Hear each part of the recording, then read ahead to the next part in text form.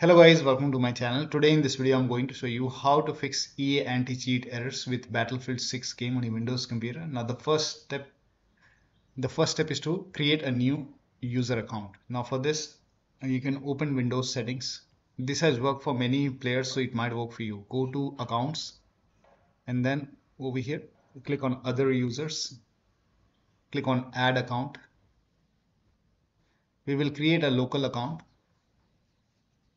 now on this screen, click on I don't have this person's sign in information.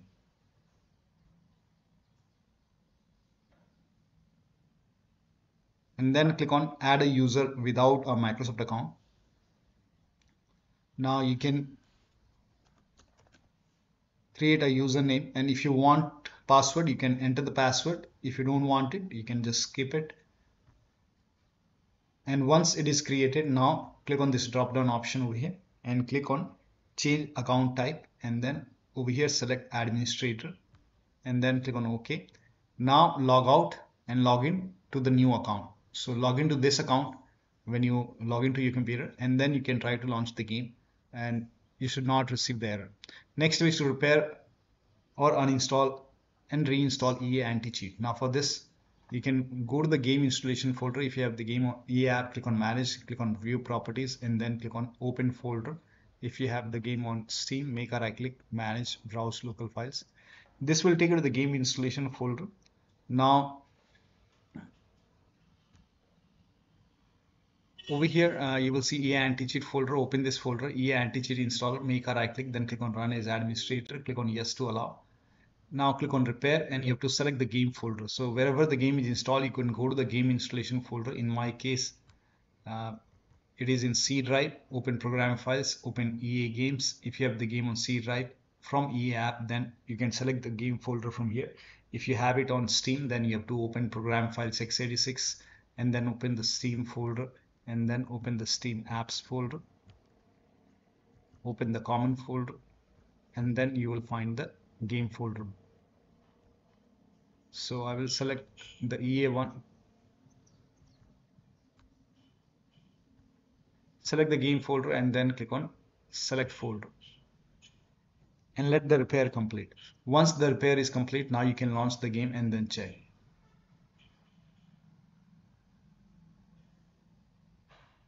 This may take a few seconds or maybe a minute and once you see install success now you can launch the game and then check. Still not working you can uninstall and reinstall EA anti-cheat. Now for this you can click on uninstall all. This will uninstall EA anti-cheat for all the game. But when you launch the game again when you launch the game next time during the installation it will reinstall EA anti-cheat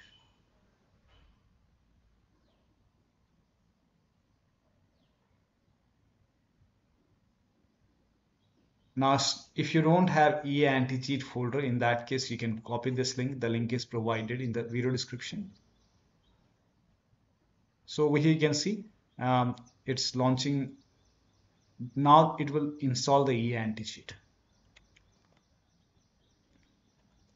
If you don't have EA anti-cheat, in that case, you can install it from the EA website. You can go to EA website, keep, click on EA Javelin EA anti-cheat. This is the official website and let the download complete. Once the download is complete, you can run the exe file.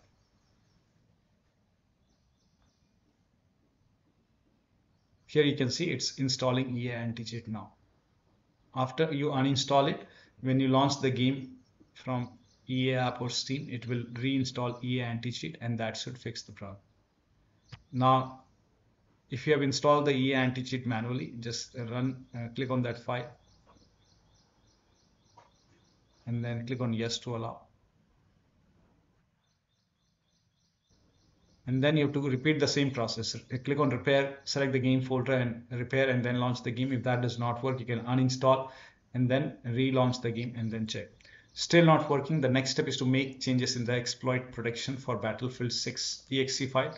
Now for this type in um, exploit protection in windows search box and then click on exploit protection over here and then go to program settings and then click on add program to customize choose exact file path and then go to the game installation folder and then select the game exe file. Select the game exe file and then click on open. And once you see this prompt you have to put a check on override system settings and if this is on like this you have to turn this off. For this also in my case I have already I already did it. So override then off override off. If it is on off. Control flow guard if you have to put a check over here in your case this would be unchecked. Override would be unchecked. So you have to put a check and then if this is on you have to turn it off. Again override off override off. Make sure everything is off over here. So in my case I have already put a check on override system settings and everything is off. Once you turn off everything now you hit apply now click on yes to allow and then you can launch the game.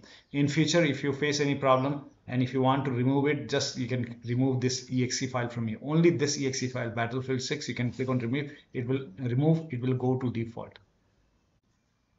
Now still you're facing the problem. Next time to disable or uninstall this zapret app. Now many users are using this application. If you have this uh, install in computer. If you're using it you can disable it or uninstall it and then check. If you have CryptoPro uh, running you can close CryptoPro or maybe disable it or uninstall it. Punkbuster also giving the problem. You can uninstall punkbuster and then you have to delete it from the computer.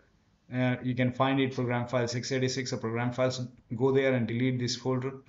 Uninstall goodbye application if you're running. If you're running Droptop via rainmeter close both its services in task manager as well as close the uh, services and then close it. If you are using any third-party mouse and keyboard uh, you can use the default driver windows default driver. Uh, especially if you are using corsair mouse keyboard you can if you're using this iCUE software you can close this you can uninstall it.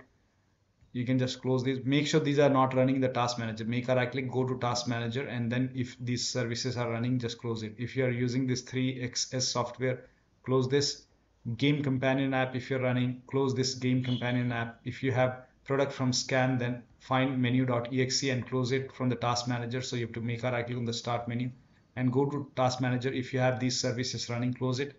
Close Viveport Vive's VR software as well from the task manager and close this application. If you're running daemon tools uh, then you can disable daemon tools in device manager. If you make a right click on the start menu and then go to task manager. If you have daemon tools running or if you had these application running you can just uh, close it. In my case I don't have it running. So you have to make a right click. If you find those tools you can just make a right click and then click on end task. And for daemon tool you have to make a right click on the start menu go to uh, device manager and you have to disable it from the device manager as well and in my case it's under storage. It there was daemon tool in my case i have already in your case you will see disable device option. In my case it is already dis disabled under universe serial bus. So also if you have this uh, ReWASD DS4 Windows auto hotkey Razer Synapse Corsair Faceit anti-cheat Riot Vanguard Logitech so make sure that you close these application. Also close it from the task manager. If it is in the there in device manager you can disable it. Disable xvdd scsi miniport if this if you find this in device manager make a right click and you can disable it. So you can even uninstall these application. If you have any third-party application like vlc codec wallpaper engine etc you can just close it and then check. Perform clean boot for this typing system configuration in windows search box and then click on system configuration go to the services tab put a check on the box which says hide all microsoft services and then click on disable all. Make sure that you put a check over here then click on disable all then hit apply click on ok you will see a restart option restart your computer and then launch the game. Next step is to try dx11 or dx12 in the launch option. So go to steam if you have the game on steam make a right click go to properties. In the launch option type in dash d3 d11 now you can launch the game and then check. If that does not work you can even type in dash dx11 launch the game and then check. Still not working type in dash dx12 launch the game and then check. Still not working. You can just remove it and then follow the next step. Now if you have the game on EA app click on manage properties and then over here you can type in dash d3 d11 now save it launch the game and then check. If that does not work you can try the same thing dx11 save it launch the game you can even try DAX DX12 save it launch the game and then check. Still not working you can remove this save it follow the next step. Now the next step is to allow the game exe file to your antivirus program. So if you have any third-party antivirus like avast norton bitdefender mcafee whichever antivirus program you have allow the game exe file to your antivirus program. Now if you're using windows security then open windows security in settings privacy and security windows security and then click on virus and threat protection scroll down at the bottom you will see manage ransomware protection click on it. Click on allow an app through control folder access. Click on yes to allow.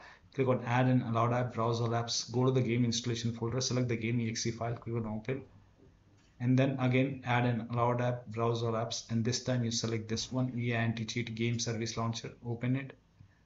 And then also open EA anti-cheat over here. Select this. Add all the exe file over here. Now launch the game and then check. Still not working rename settings folder. When you rename settings folder uh, uh, you will not the settings folder will you will get rid of all the saved settings. So for settings uh, folder you can find it in the documents. Open Battle, battlefield 6 folder. Here, here you can see settings. So you can rename it or you can delete it. You will lose all the saved settings when you do do so now rename it. Now you can launch the game and then check. Still not working. Run the game as an administrator from the game installation folder. So go to the game installation folder.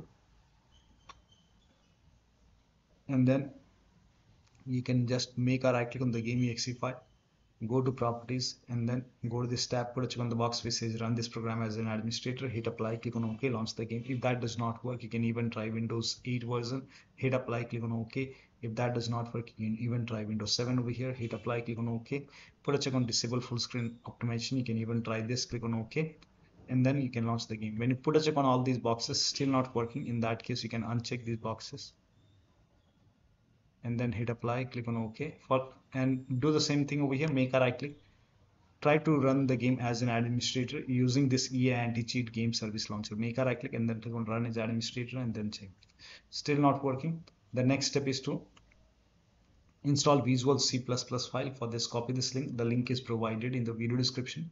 Open this link in the browser. It will take you to Microsoft website. On this website install these two x86 and x64 run this exe file click on repair. If you see repair if you see the install button hit install download this x64 file as well and then run this exe file. If you see repair click on repair. If you see the install button hit install click on yes to allow and let the installation complete. Once both are installed then restart your computer. After the system restart you can launch the game and then check. Still not working. The next step is to run EA app or Steam as an administrator. So if you have the game on Steam then close Steam exit and then you can type in steam and then make a right click on steam then click on run as administrator. Do the same thing with EA app. You can close the EA app close it and then you can type in EA app and then make a right click and then click on run as administrator and then launch the game. Next step is to update the BIOS. So go to your system manufacturer website select your model number. Make sure that you select your model number and then find the latest BIOS and then update the BIOS. In case of laptop, make sure battery on your computer is more than 10% and the AC adapter is connected to the computer. During the BIOS update, your system will restart. Do not unplug the power cable when it's updating the system BIOS. After the BIOS update, log into the computer and then launch the game. Next step is to uninstall and reinstall the game to different drive. So uh, if that does not work, uh, you can just uninstall the game, uninstall the game and uh, if the game is installed to C drive, try different drive like D drive or E drive. Try to install the game to SSD. And if the game is already installed to different drive, in that case, you can try to install the game to C drive and then check. Next step is to run this SFC and DISM command. So type in CMD in Windows search box, make a right click on command prompt app and then click on run as administrator. Make sure that you open command prompt as an administrator only and then click on yes to allow and then paste the command over here, hit the enter key. This process will take some time and once the scan is 100% complete, you can run the second scan. And once the second scan is 100% complete, launch the game and then check. Next step is to verify or repair the game files. Now for this, you can go to Steam. If you have the game on Steam, make a right click and then go to properties. Go to install files tab and then click on verify integrative game files. Once the verification is done, launch the game and then check. You can in EA app, click on manage and then click on repair and once the repair is done check. The last step is to reset windows 11 so if nothing is working you can reset your computer but make sure that you create a backup because you will lose all the all the data and the application on your computer. So if you're sure uh, you can do it. You will lose all the data and application. To reset your windows now you can go to settings.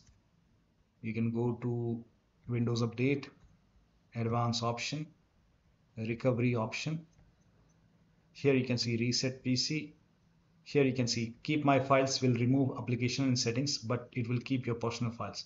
Remove everything will remove all your personal files apps and settings. So you can select the option which you want and then you can go for local reinstall or cloud download and then just follow the on-screen instruction and once the reset is complete now you can launch the game and then check. So one of the steps shown in this video should help you to fix the EA anti-cheat error. So that'll be all. Thank you so much for your time and please like this video and subscribe to my channel